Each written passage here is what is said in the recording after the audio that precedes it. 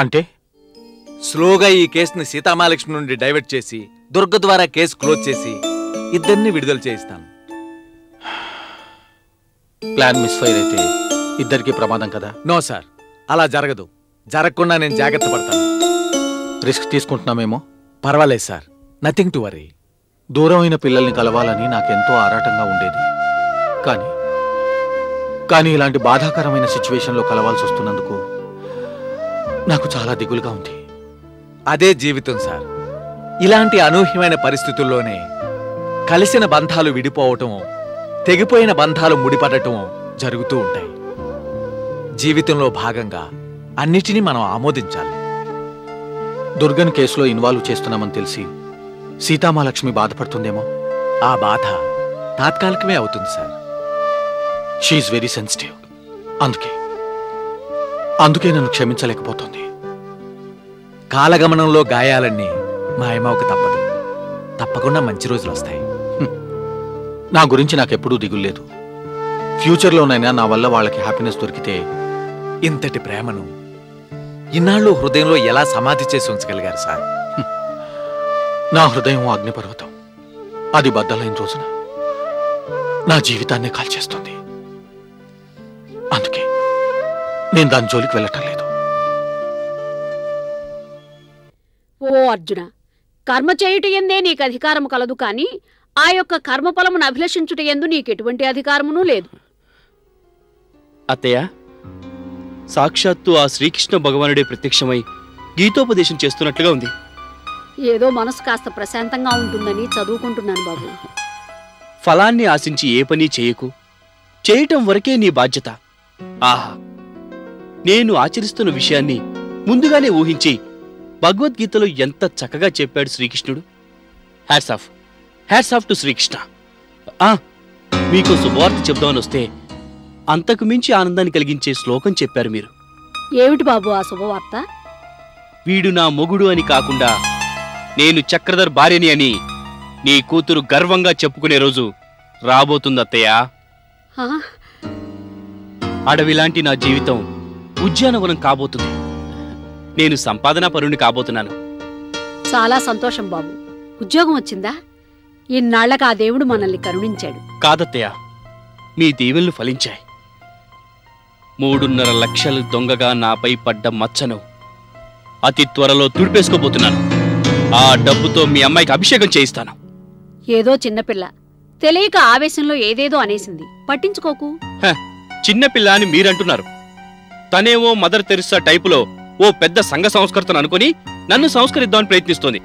Of course అది దానివల్ల కాదనుకోండి. ఏది ఏమైనా త్వరలో మన కష్టాలు గట్టెక్కుతున్నందుకు చాలా సంతోషంగా ఉంది బాబు. తను ఉద్యోగం చేస్తూ మనకి గంజి నీళ్ళే పోస్తుంది. నేను పరమాన్నం తినిపిస్తాను అత్తయ్య గారు. నీ సంగతి నాకు తెలీదా బాబు? ఎంతటి శుభవార్త చెప్పావు? ఉండు నీ నోరు తీపి చేస్తాను.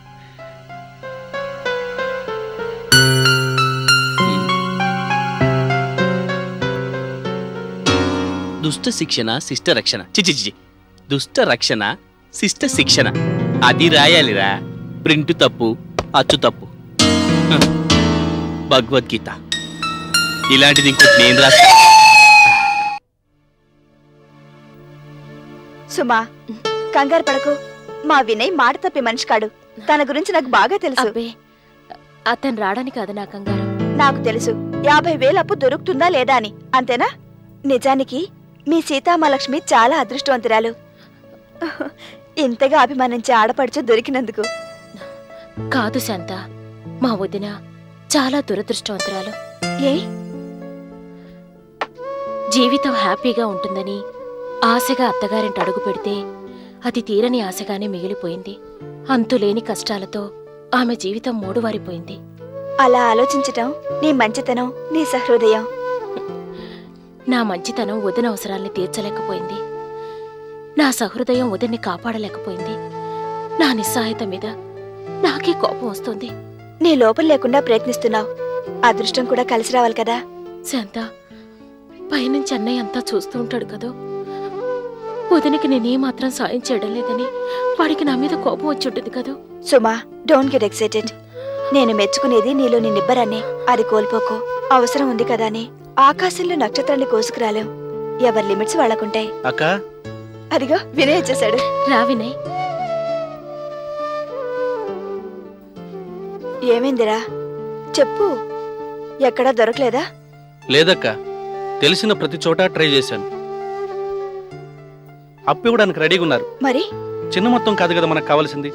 మంచి పొజిషన్ ఉన్న వాళ్ళు షూరిటీ ఇవ్వడం లేదా ఏదైనా తాకట్టు పెట్టడం చేయాలి. శాంత నా గురించి మిమ్మల్ని అందరినీ శ్రమ పెడుతున్నాను. మీ వదిన కోసం నువ్వు పడేది శ్రమే అనుకుంటే నీ పట్ల మేము చూపించేది కూడా శ్రమే అవుతుంది. మీ వదిన పట్ల నీకున్నది బాధ్యత అనుకుంటే నీ పట్ల నీ స్నేహితులు చూపించేది కూడా బాధ్యతే.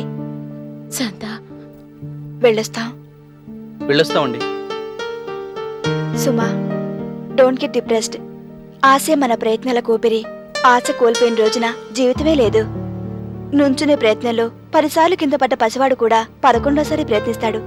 మనము ప్రయత్నిద్దాం. సరేనా? వెళ్ళొస్తాను. టేక్ కేర్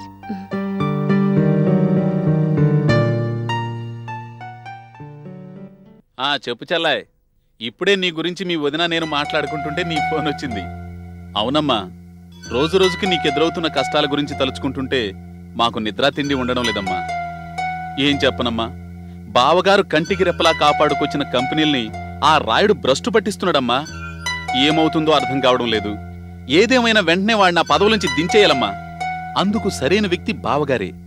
నువ్వు ఆయనతో చేతులు కలపగలిగితే అంతకంటే ఇంత విషం కలిపి తాగడానికి ఇష్టపడతాను.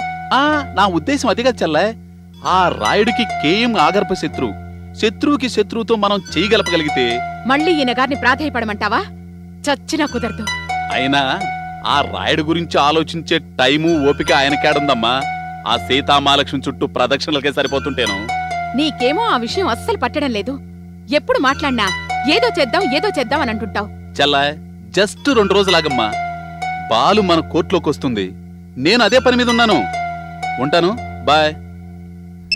వదిన్ ఎందుకు అలా మోసం చేస్తారు? తనకి మీ మీద ఎంతో నమ్మకం ఉంది. మోసమా? నేనేం చేశానే? మొగుడి మీద పగతో ప్రతీకారం తీర్చుకోవాలని రగిలిపోయింది. సాయం చేశాను. మొగుడితో గొడవ పడింది. తగిన శాస్తి జరిగింది. అవకాశం ఉన్నప్పుడే సంపాదించుకోవాలి ఎర్రి మొహమా అందుకని వదిన్ని దూరం చేసుకుంటావా? ఎవరు దూరం చేసుకున్నారే? దానికి ఇంకా రాకేష్ని దత్తత తీసుకోవాలని ఆలోచనలో ఉంది. కాస్త సెగగదోసి పని పూర్తయ్యేలా చూస్తే మనం రెండు చేతులతో తినొచ్చే. ఏమిటో? మీకు డబ్బు లెక్కలే గాని మనుషులు సంబంధాలు లెక్క లేకుండా పోతోంది. పిచ్చి మొహమా. నీకిదే లోకం. నేను నీ కొడుకు ఆ లోకంలో మనుషులం. అంతే నీకు తెలియని వేరే ప్రపంచం ఉందే. ఆ ప్రపంచంలో నీలా ముక్కుసూటిగా మాట్లాడే వాళ్ళకి చోట్లేదే. నీకు అర్థం కాదు గానీ ఆ కప్పు ఇలా ఇచ్చి పోయి పని చూసుకోపో.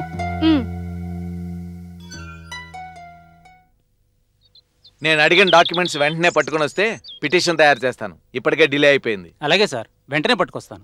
వస్తాను సార్. ఆ. Hello Parameshwar here. చెప్పండి ఎస్ఐ గారు. ఎక్కడుంది? దయచేసి కాస్త కేర్ఫుల్గా ట్రీట్ చేయండి. ఏమాత్రం బాధ పెట్టద్దు. I hope you can understand my feelings. ఆ విషయం నేను వచ్చిన తర్వాత మాట్లాడుకుందాం. వెంటనే బయలుదేరుతున్నాను. Thank you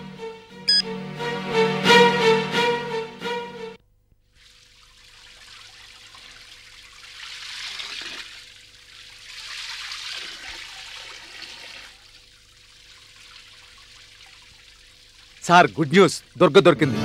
నిజంగానా? ఎక్కడుంది ఇప్పుడు? ప్రస్తుతం పోలీస్ స్టేషన్లో ఉంది. మాదాపూర్ ఏరియాలో కంప్యూటర్ సెంటర్ నుంచి బయటకు వస్తుంటే పోలీసులకు కనిపించిందట. ఇంట్రాగేషన్ కోసం తీసుకొచ్చారు. పదండి సార్ వెళ్దాం. Mister Parameshwar you please carry నేను రాలేను. అదేమిటి సార్? ఇన్నేళ్ళ తర్వాత కూతురు కనపడబోతుంటే ఏ తండ్రి అయినా గాల్లో ఎగురుకుంటూ వస్తాడు. అందరి తండ్రులంత అదృష్టవంతుడు కాడి కేయం మీ మనసులో ఏముందో నాకు అర్థం కావట్లేదు సార్. సహకరించిన కూతురు కోసం బాధపడుతున్నారు. కనిపించిన కూతురు కోసం కళ్ళల్లో ఒత్తులు వేసుకుని వెయిట్ చేశారు. తీరా కనిపించబోతుంటే కాళ్ళకు బంధాలు వేసుకుని ఆగిపోతున్నారు. ఎందుకిలా కనిపించిన ఆ కూతురు నన్ను నాన్న అని పిలవనంటోంది. నన్ను చూస్తేనే అసహించుకుంటోంది. కనిపించబోయే మరో కూతురు నన్ను ఎలా రిసీవ్ చేసుకుంటుందో నాకు అర్థం కావట్లేదు. అనవసరమైన భయాలతో తండ్రి మనసుకు ద్రోహం చేసుకుంటున్నారు. ద్రోహం. ద్రోహం ఈనాటిది కాదు. ఏనాడో చేసుకున్నాను. సీతామహాలక్ష్మి నన్ను కేవలం అసహించుకుంటుంది. దుర్గ నేను ఎదురుపడితే నన్ను చంపి తను జైల్లో కూర్చోవచ్చు. అది మరీ దురదృష్టం అవదా చెప్పండి. అనవసరంగా అపోహపడుతున్నారు. చేతుకున్న ఐదు వేళ్ళలో ఏ రెండు ఒకేలా ఉండవు. సీతామాలక్ష్మితో దుర్గను కంపేర్ చేయొద్దు. ప్లీజ్ మీ డెసిషన్ మార్చుకోండి. వెంటనే బయలుదేరండి. దెబ్బతిన్న తండ్రిని. నా పరిస్థితి మీకు తెలియట్లేండి it's okay sir you are the better judge to judge your problem అవసరమైతే నేనే బెయిలిచ్చి విడిపిస్తాను. ఇష్యూ చాలా జాగ్రత్తగా మేనేజ్ చేయండి. నాకు సీతామహాలక్ష్మి ఎంతో దుర్గ కూడా అంతే. అర్థమైంది కదా? Sir don't be in tension ఇన్నేళ్ళ మన సాన్నిహిత్యంలో మీ మనసు ఏమిటో నాకు బాగా తెలుసు. బీ కూల్ వీలుంటే దుర్గనే మీ దగ్గరికి తీసుకొస్తాను. ఉంటాను సార్ ఓకే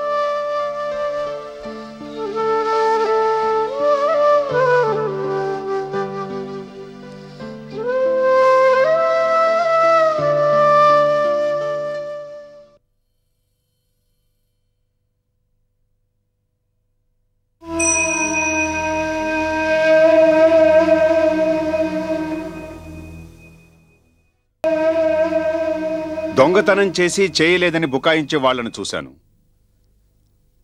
హత్య చేసి చేయలేదని బుకాయించే వాళ్ళను చూశాను.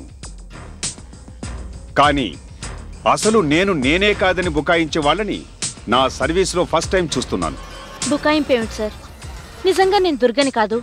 నా పేరు కరుణ. అద్దం ఎదురుగా నిలబడి అందులో కనిపించేది నేను కాదు అన్నట్లుంది. మై గాడ్ మీకెలా చెప్పాలి? చూడమ్మా ఇప్పుడు నువ్వేదో హత్యో దొంగతనమో చేశావని అనడం లేదు. అంతగా అతకని అబద్ధం చెప్పక్కర్లేదు. అయ్యో అబద్ధం కాదండి. నిజంగా మీరు అనుకున్నట్టు నేను దుర్గని కాదు కరుణని. సరే అలాగే కాని నీకు సీతామహాలక్ష్మి ఏమవుతుంది?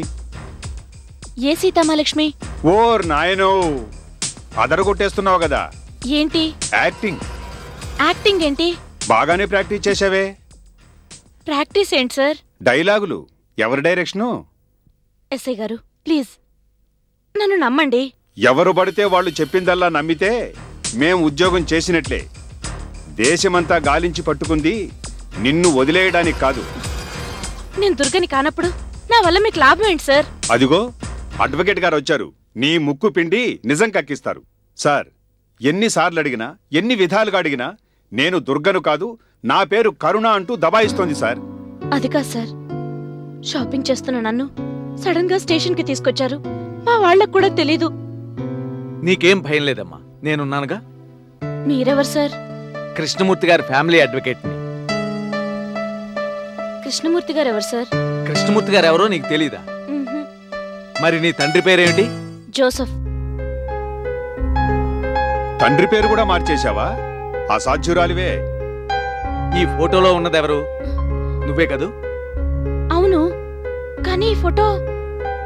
కేవలం మీ బావగారి హత్యకు సంబంధించి నీకు తెలిసిన వివరాలు తెలుసుకుందామనే ఇక్కడికి తీసుకొచ్చాం. భయపడవలసిందేమీ లేదు. నాకు బావగారు ఎవరు లేరండి. ఇప్పుడు లేరమ్మా. మీ అక్క చంపకముందు ఉన్నారు కదా. నాకు అక్క కూడా లేదండి. అక్కతో దెబ్బలాడావా? మాటల్లేవా పంతాలా? కాదు సార్ నిజం. నేను మా డాడీకి ఒక్కతే కూతుర్ని పేరు జోసఫ్.